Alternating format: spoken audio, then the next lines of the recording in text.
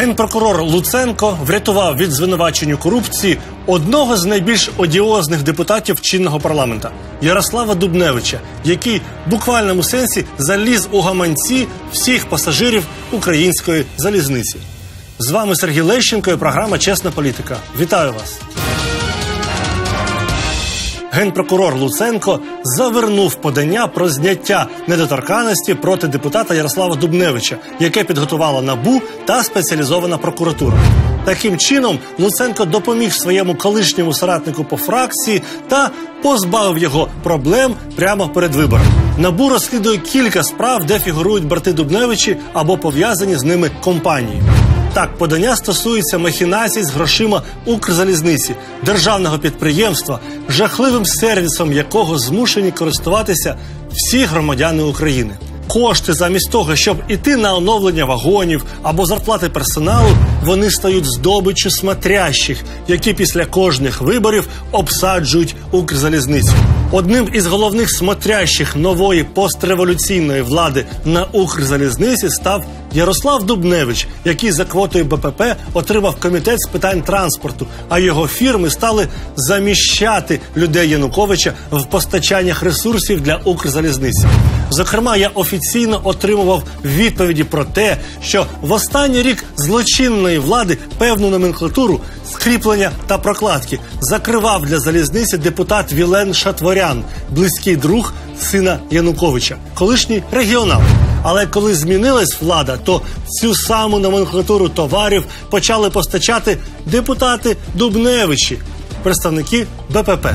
Якщо в перший рік після майдану, в 2014 році компанія, наближена до Дубневичів, постачала цього всього на суму 103 мільйони гривень, то вже в 2015 році об'єми зростають до 173 мільйонів гривень і так далі.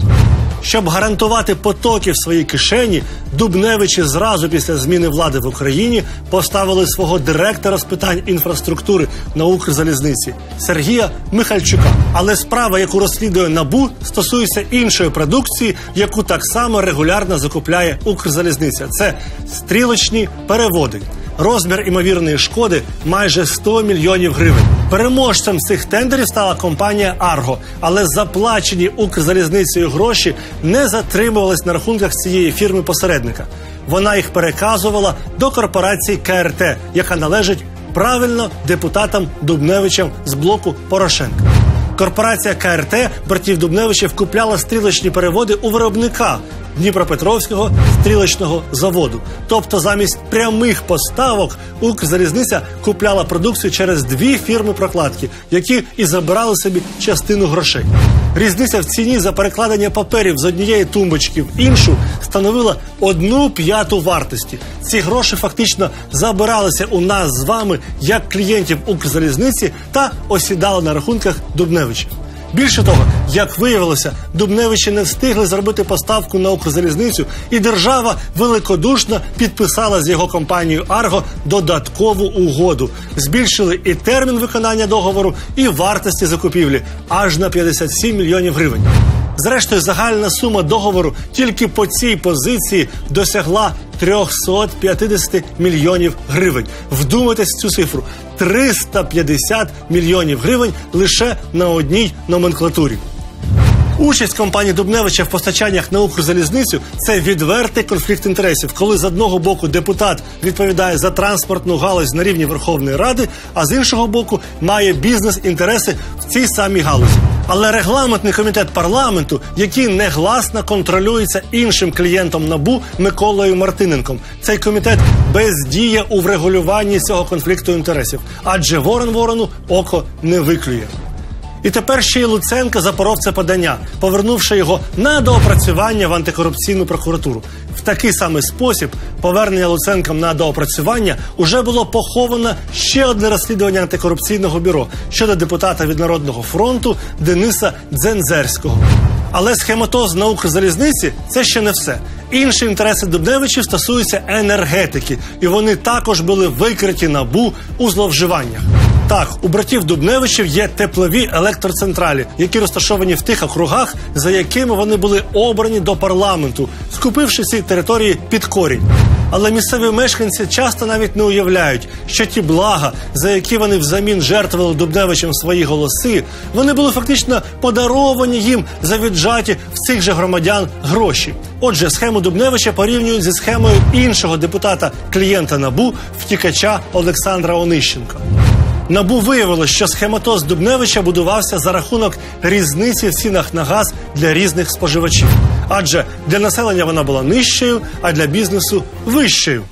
Теплові електроцентралі Дубневича брали дешевий газ, який мав іти для виробництва тепла для населення, і перетворювали його в електроенергію, яку потім продавали на ринкових умовах.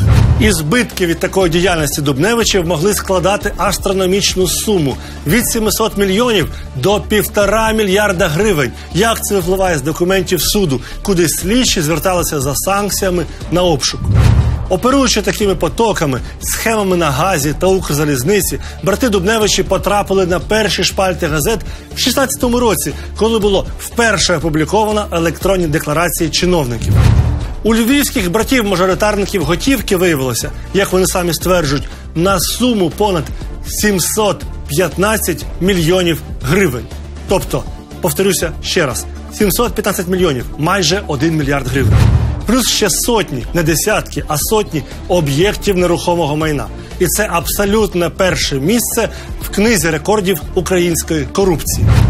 Ми ніколи не зможемо отримати чесну владу, ніколи не позбудемося корупціонерів у парламенті, якщо не поміняємо закон про вибори, заборонивши цю злочинну мажоритарку, за якою такі діячі потрапляють в політику. Так саме за мажоритаркою було обрано братів Дубневичів до парламенту. І зміна системи влади має бути завданням вже для нового президента. Жодної надії на те, що чинний глава держави Петро Порошенко позбавить своїх соратників майбутнього в політиці, вже не залишилося.